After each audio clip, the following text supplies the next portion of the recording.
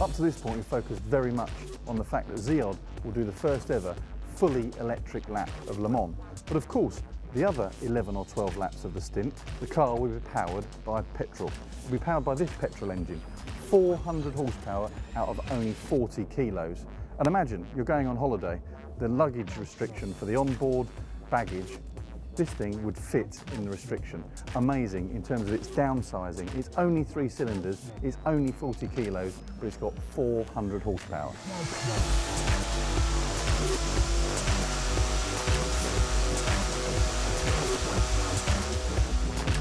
Just like with aerodynamics, where friction of air against the body of the car is our enemy, friction internally within the engine is also our enemy.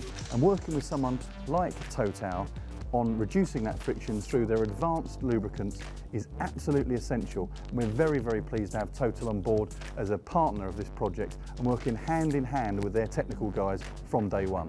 Choisi par un constructeur automobile comme euh, partenaire technologique pour arriver à une démonstration d'innovation, c'est toujours une fierté. Et aujourd'hui, c'est le renom de euh, Total, la capacité de développer des nouvelles solutions qui en fait rejaillit dans ce partenariat.